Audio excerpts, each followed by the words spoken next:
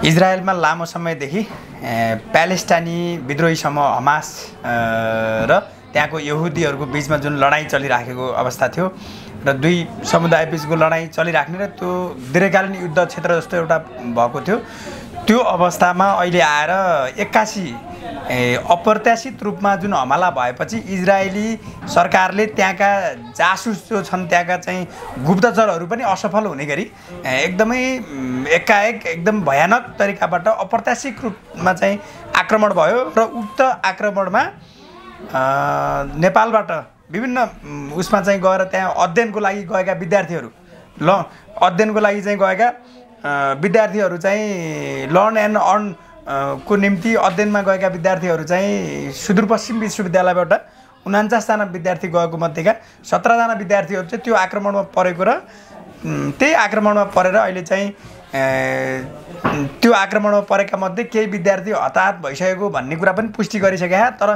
त्यहाँको सरकारले आधिकारिक घोषणा गरिसकेको अवस्था छैन।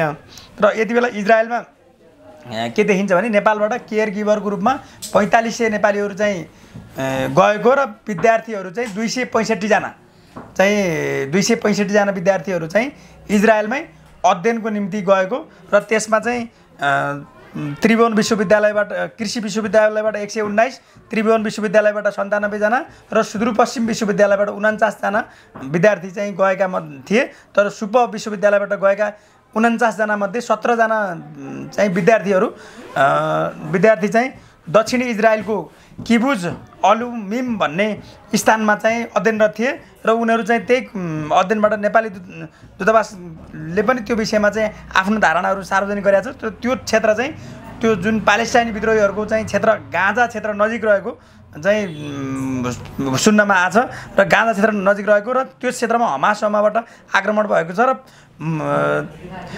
त्यही क्षेत्रमा चाहिँ घर फर्किँदै गरेका अध्ययनरत उन्चासजना विद्यार्थीमध्ये सत्रजना विद्यार्थी घर फर्किँदै गर्दा चाहिँ आक्रमण भयो आक्रमणमा हुँदा त केही घर फर्किने क्रममा चाहिँ आक्रमण भएको रहेछ। त्यहाँनिर चाहिँ खास के मिसाइल हानिएको भन्ने कुराहरू छन्? हो इजरायलमा चाहिँ को युद्धमा पुरै मिसाइल क्षेपेस्त्र नै प्रयोग हुन्छ। यहाँ जस्तो बन्दुकहरू प्रयोग हुँदैन त्यहाँ मिसाइल हुँदैन त्यहाँ मिसाइल नै हो। त्यहाँ एकदमै अत्याधुनिक चाहिँ युद्ध हुन्छ त्यहाँ। त्यहाँ मिसाइल नै हो। त्यहाँ यहुदी र प्यालेस्टाइनको चाहिँ ठुलो ठुलो चाहिँ लडाइँ भइराख्ने हुनाले त्यहाँ त अब विभिन्न त्यो युद्धरत क्षेत्र नै हो कि? युद्धग्रस्त क्षेत्र भएको कारणले त्यहाँ चाहिँ हाम्रो यहाँ रोडहरूमा चाहिँ ट्राफिकको चिन्ह देखाए जस्तै त्यहाँ यहाँ यहाँ युद्ध हुनसक्छ यहाँ यहाँ आक्रमण हुनसक्छ भनेर त्यहाँ चाहिँ युद्ध भयो भने कसरी बच्ने भनेर चाहिँ त्यहाँ पुरै त्यो क्षेत्रमा पुरै बङ्करदेखि लिएर सबै कुरा छ त्यहाँ। होइन र त्यो अहिले आक्रमण भएको चाहिँ इजरायलको दक्षिणी क्षेत्र किबुजको अलुमिम भन्ने ठाउँमा भएको हो। र त्यहाँ चाहिँ सुदूरपश्चिम विश्वविद्यालयबाट गएका एकचालिसजना विद्यार्थी चाहिँ त्यो आक्रमणमा परि सख्त घाइते भएको र सातजना नेपालीको मृत्यु भइसकेको भन्ने जानकारी आएको छ। तर इजरायल सरकारले घोषणा गरेका छैन। सातजनाको सरकारले घोषणा नगरिकन कसरी थाहा भयो त्यो कुरा? कसरी तपाईँले थाहा पाउनु भयो त? त्यहाँको चाहिँ इजरायलको पूर्व एनआरएनको अध्यक्ष दिपक ओली मार्फत यहाँका नेपालका केही राष्ट्र केही अनलाइन न्युजहरू एकदम रजिस्टर्ड न्युजहरूले पनि त्यो कुरा पुष्टि गरिसक्यो। रातो पार्टी लगायतका न्युजहरूले त्यो चाहिँ पुष्टि गरिसक्यो होइन? र त्यहीँको चाहिँ त्यहीँको साथीहरूसँग मेरो सम्पर्क भयो। त्यहीँ इजरायलमै केयर गिभरको रूपमा काम गर्ने केही महिला चाहिँ दिदीबहिनीहरूसँग मेरो सम्पर्क हुँदा पनि सातजना नेपाली मरेको कुरा सत्य हो। र सत्रजना मध्येका चारजना घाइतेहरूको अवस्था चाहिँ अहिले सामान्य छ। तर युद्ध चाहिँ लाई निम्तो दिने गरी जस्तो प्यालेस्टाइनले त्यहाँ आक्रमण गर्यो प्यालेस्टाइनी हमा हमासले जुन आक्रमण गर्यो आक्रमण गरिसके पश्चात इजरायलले जवाफ दिँदाखेरि तिन सयभन्दा धेरै चाहिँ हमासका लडाकुहरूको पनि मृत्यु भइसकेको छ। र दुई सयभन्दा धेरै इजरायली नागरिक चाहिँ त्यो हमास समूहको उसमा छ अपहरणमा छ। अहिले चाहिँ अपहरणमा छ। र त्यहाँ जुन जुन खालको हिजोदेखिको दीर्घकालीन युद्धको तुस थियो आज त्यसलाई चाहिँ एकदम अप्रत्याशित रूपमा चाहिँ फेरि पनि हमासले चाहिँ इजरायललाई हामी कब्जा गर्छौँ भन्ने तरिकाले इजरायललाई हामी ध्वस्त पार्छौँ भन्ने तरिकाले त्यो आक्रमण भयो। तर त्यसले हाम्रो नेपाली समुदाय जो पैँतालिस सय नेपाली त्यहाँ छ र प्लस दुई सय पैँसठी नेपालीहरूको सङ्ख्या पैँतालिस सय। पैँतालिस सय केयर गुबरको रूपमा प्लस दुई सय पैँसठी विद्यार्थी चाहिँ त्यहाँ अध्ययनको निम्ति गएका छन्। ती विद्यार्थीहरू नै अहिले आक्रमणमा परेका हुन्। र आक्रमण चाहिँ यस्तो भयो कि एकदम अप्रत्याशित भयो कि नत्र त्यहाँ त पूर्व सूचना हुन्छ त्यहाँ आक्रमणको।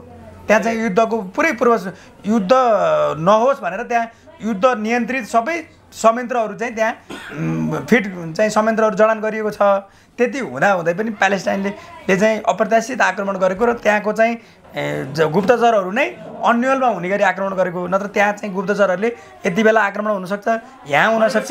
यो घटनामा पहिला जानकारी गरिएको थिएन थिएन। अरू घटनामा चाहिँ त्यहाँको गुप्तचरहरूले थाहा पाउने सम्भावना धेरै थियो। त्यस्ता डिजिटल सूचना प्रविधियुक्त अ, चिजहरू चाहिँ त्यहाँ जडान गरिएको छ। तर यो घटना चाहिँ अप्रत्याशित भयो। यो घटना चाहिँ पुरै अप्रत्याशित रूपमा त्यहाँको चाडपर्व पनि नजिक आउँदैछ अरे।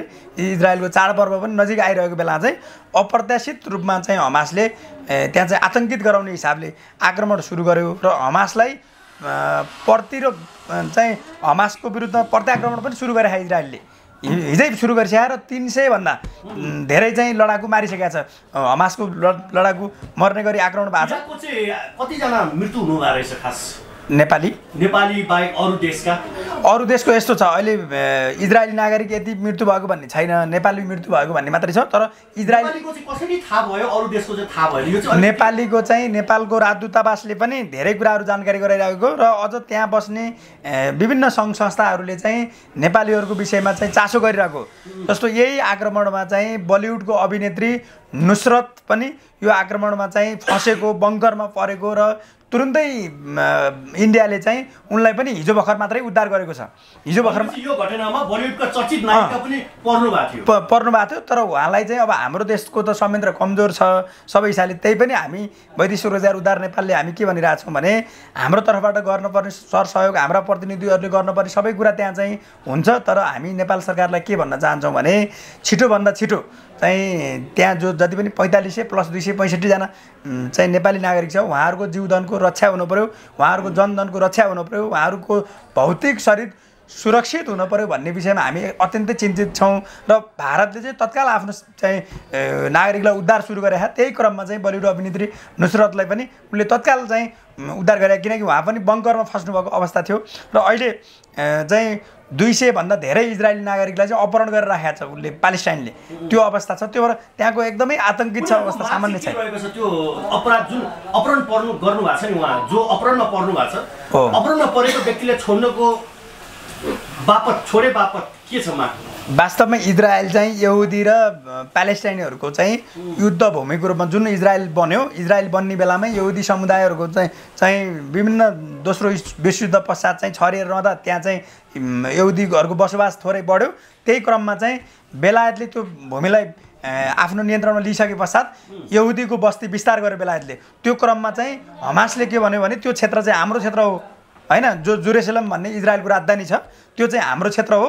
त्यो चाहिँ यहुदीको बस्ती विस्तार गर्न पाइन्न भनेर त्यहाँ जब युद्ध सुरु भयो त्यही बेलादेखि आजसम्म चाहिँ त्यो भूमि चाहिँ पुरै युद्धको चाहिँ क्षेत्र भएको छ। जो कुनै बेला जम्मू काश्मीर त्यस्तो थियो अहिले त्यो चाहिँ इजरायल चाहिँ एउटा युद्ध भूमि जस्तो प्यालेस्टाइनले चाहिँ त्यो अ, इजरायललाई तिमीहरूको होइन भनिरहेको छ कि? प्यालेस्टाइनले त्यो इजरायल नै कब्जा गर्ने भन्ने प्यालेस्टाइनको नियत छ अहिले। उनीहरूको मागै इजरायल नै हाम्रो भनिरहेको छ उनीहरूले। मैले गोप्य सूत्रले मलाई भन्नु न गोप्य सूत्रले सूत्रले जानकारी दिए अनुसार तपाईँको पनि आफन्त छन् या छिमेकीको इजरायलमा हुनुहुन्छ अरे भन्ने मैले खबर पाएँ। यो अलिकति क्लियर गर्नुहोस्। यस्तो छ आफन्तजन भन्दा पनि एकदम नजिकका साथीभाइहरू त्यहाँ हुनुहुन्छ। एकदम हामीसँगै सामाजिक कामहरूमा भएका हो संयुक्त एउटा संयुक्त मेचीमाली मेची महाकाली बुहारी समाज भन्ने छ त्यसको इजरायल प्रतिनिधि लगायत तिन चारजना महिला दिदीबहिनीहरूसँग मेरो सम्पर्क भइरहेछ। उहाँहरूले मलाई केही भिडियोहरू पनि पठाउनु भएको थियो त्यहाँको अवस्थाहरू पनि पठाउनु भएको थियो। त्यहाँको अवस्था एकदमै भयभीत छ र त्यहाँ कति बेला चाहिँ कहाँ बम पड्किन्छ कति बेला कहाँ को क्षेप्यास्त्रको शिकार हुन्छ र को हिँड्दा हिँड्दै देख्दा देख्दै को कहाँ मर्छ हिजो उहाँले काम गर्ने ठाउँमा उहाँको को काम गर्ने ठाउँको साउन्ड मैले सुन्दाखेरि उहाँले चाहिँ मलाई अडियो कल गर्नुभएको थियो। काम गर्ने ठाउँको साउन्ड सुन्दा त्यहाँ सबैजना ससर फफा हुन्छ नि कुनै भिरबाट लडेको मान्छे जस्तो कुनै एकदम आतङ्कित गाडी एक्सिडेन्ट भएको ठाउँ बम विस्फोट भएको ठाउँको मान्छे जसरी काम गर्ने स्थानमा समेत मान्छे एकदम भयभीत रूपमा काम गरिरहेको र एकदमै आतङ्कित भएको एकदम दयनीय अवस्था चाहिँ त्यो प्यालेस्टाइनको अप्रत्याशित आक्रमणले इजरायलमा सिर्जना गरेका छ। त्यसले गर्दा जति पनि नेपालीहरू त्यहाँ हुनुहुन्छ उहाँहरूको भौतिक शरीरको चाहिँ त्यहाँ सुरक्षित हुने अवस्था छैन। त्यहाँ जति बेला पनि अपहरण पर्न सक्ने जति बेला पनि चाहिँ त्यहाँ विभिन्न चाहिँ घटना घट्न सक्ने अवस्था चाहिँ सिर्जना भएको छ। नेपाल सरकारको तर्फबाट उहाँहरूले कस्तो पहल गरिराख्नु भएको रहेछ? यसमा केही जानकारी पाउनु भएको छ? नेपाल सरकारको परराष्ट्र मन्त्री ज्यू एनपी साउदको नेतृत्वमा मलाई प्राप्त जानकारी अनुसार तिन सदस्यीय चाहिँ उद्धार टोली पनि नेपाल सरकारले गठन गरेको छ र त्यहाँको सबै कुराहरू चाहिँ बुझ्दैछ तर मैले अघि भने हाम्रो स्रोत साधन सबै कुराले विभिन्न मुलुकको हैसियत अनुसारको चाहिँ गतिविधि हुँदो रहेछ। इन्डियाले तत्काल आफ्ना नागरिक उद्धार गर्न थाहा सुरु गर्यो तर हाम्रो तत्काल उद्धार गर्ने अवस्था छैन। र अहिले प्रतिपक्षी दलहरूले पनि चाहिँ संसदमा तुरुन्त उद्धार गर्न पर्यो तुरुन्त आफ्नो समकक्षी नेपालको प्रधानमन्त्रीले इजरायलको प्रधानमन्त्रीलाई फोन सम्वाद गर्न पर्यो र तत्काल नेपाली नागरिकहरूको अवस्थाको विषयमा जानकारी लिनु पर्यो र अपहरण परेका नागरिकहरूको उद्धारको निम्ति पहल गर्न पर्यो घाइतेहरूको गम्भीर घाइतेहरूको अवस्था बुझेर उहाँहरूको निम्ति तत्काल चाहिँ उद्धार कार्यहरू गर्न पर्यो भन्ने खालको आवाजहरू नेपालमा उठिरहेछ होइन?